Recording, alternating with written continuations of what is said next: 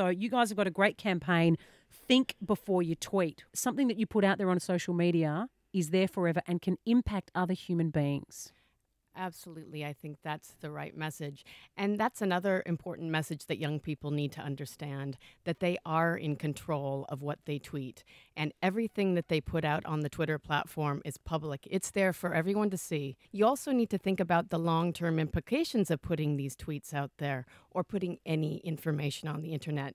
Do you want the admi- eh, university admissions officer to see it, the, your future employer? These, these things can live on in perpetuity. I like to remember the different tools and strategies as in terms of BRIM. That means blocking, reporting, ignoring, and muting. Blocking is the most definitive step that you can take.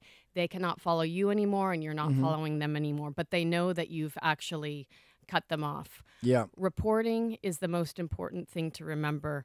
If you don't report it, we can't address the issue. We can't take down the con- Yeah. the content. We can't um, take the abuser off the network. Don't give them that um, satisfaction that they've bothered you. Yeah. And you can also mute, which is a subtler way to to keep the damaging content from coming into your feed. Okay. So you're muting them, so you're protecting yourself from seeing all that toxic content.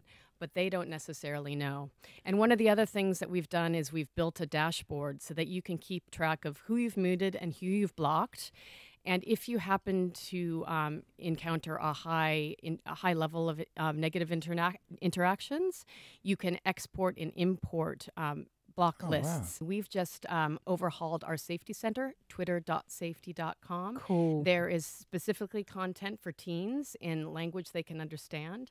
And one of the challenges I think we have is that teens are no more technologically proficient than, than we parents. yes. Yet they don't have the maturity and judgment to be able to deal with some of these um, these issues that are happening. Um, you know, bullying online feels as bad as bullying in person, and often it's an, ex- an extension of what's happening in the real world. Parents have to remember that they do need to have the discussions and make it a safe discussion.